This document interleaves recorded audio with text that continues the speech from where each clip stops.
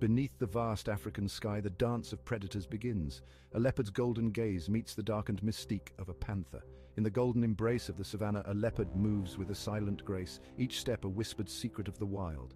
But tonight the air is charged with tension, for not far in the lush, moonlit jungle lurks a shadow, a ghostly figure known as the Black Panther. Their paths cross at a dusty clearing, where the scent of water mingles with the pulse of danger. Eyes lock, muscles tense, and the timeless dance begins. With a roar that slices through the stillness, they clash under the watchful eyes of the moon, each a mirror of the other's fury and finesse.